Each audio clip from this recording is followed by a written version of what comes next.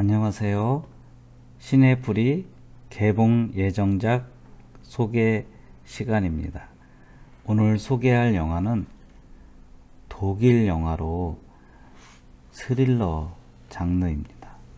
무시무시한 영화입니다. 제목은 바로 토막 살인범의 고백이라고 합니다. 최근에 우리나라에도 화성살인, 연쇄살인 사건의 진범이 잡혔죠. 전에 그 영화 보고 진짜 며칠 밤을 설쳤는데 드디어 진범이 잡혔어요. 그렇듯이 이번 독일 작품 스릴러 토막살인범의 고백 한번 예고편을 볼까요? 좀 소름이 돋 Excuse me, are you Pete Carnell? And I thought it was great. So, if it's a possibility, I would really like to work with you. Where do you want to go in life, Pete?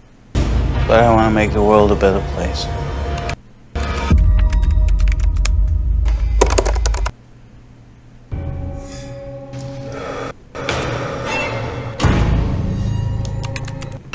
What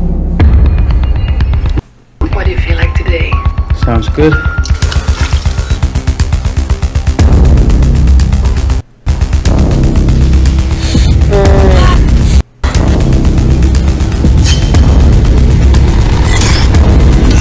Wrongdoing is a wrongdoing. You had the guarantees of getting away with it.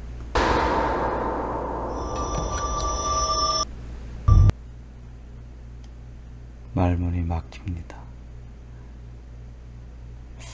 이런 영화를 소개하는 저도 그렇고, 이런 영화를 만드는 사람도 그렇고, 아, 참, 이거를 과연 관객 여러분들을 보러 극장을 찾으라고 해야 될지 참 고민입니다.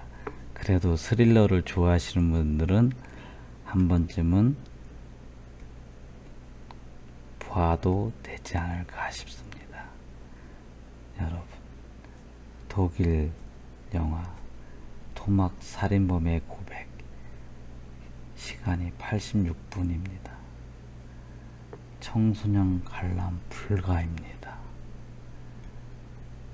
한 번쯤 이런 쌀쌀한 초가을 날씨에 등골이 오싹하는 영화 토막 살인범의 고백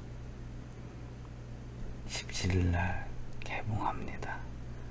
여러분 시네프리에서 추천하는 영화치고 이번에는 괜히 했나 싶습니다. 하지만 그래도 추천을 해야겠습니다. 한번 보시고 리뷰를 부탁드립니다. 이상으로 시네프리 개봉 예정작 소개 영상이었습니다. 감사합니다.